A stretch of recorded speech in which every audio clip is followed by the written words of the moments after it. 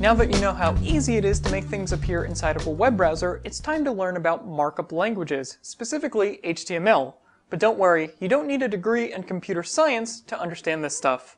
HTML is an acronym that stands for Hypertext Markup Language. There's two parts to this, hypertext and markup language. We're going to focus on the markup language part first. A markup language is used to annotate a text document using a syntax that typically describes the structure of the document, as opposed to describing how the document should be visually displayed or processed. A markup language, like HTML, is used to mark up or annotate a document so that the computer knows how to differentiate the different parts. So for example, with our basic text sentences, like hello world, I could wrap them in P or paragraph tags so that when they're interpreted, the web browser knows that they should be processed as paragraphs. You can also tell the web browser what parts of the document are images and what parts are tabular data, like you see in a spreadsheet application, and so on.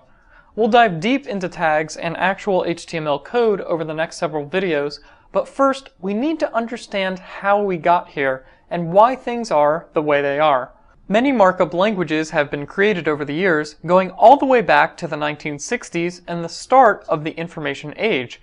However, it is highly probable that the most widely used markup language in the world is HTML.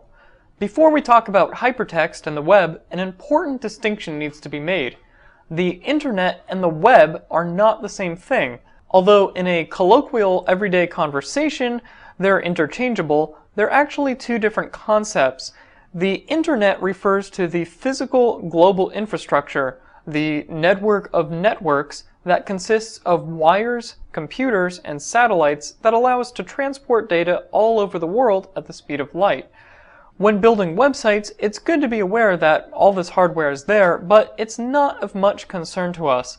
The World Wide Web, or the web for short, is one particular use case or application of the internet.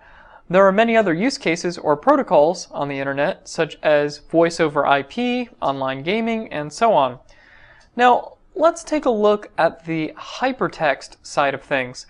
Hypertext is the idea of linking documents together. A piece of text or an image in an HTML document can reference another HTML document that the user reading the material can immediately access by clicking on it, for example. In modern times, this is known as a link.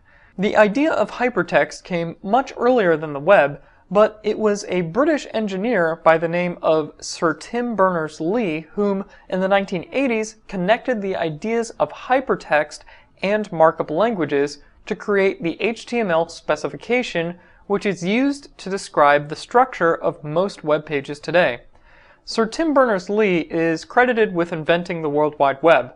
In the late 1980s and early 1990s, when the internet was just coming out of its infancy, there was no HTML, no web browsers, and there certainly weren't any websites as we know them today.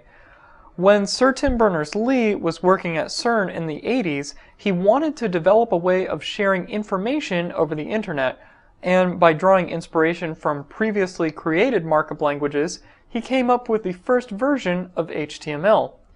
In 1994, Tim Berners-Lee founded the World Wide Web Consortium, or W3C for short. The W3C is comprised of many companies that, to this day, continue to maintain the HTML specification and further its development for the betterment of the web. By understanding some of the history of HTML, you'll have a better grasp on what role HTML plays in the grand scheme of things. In the next video, we'll take a look at some real HTML code.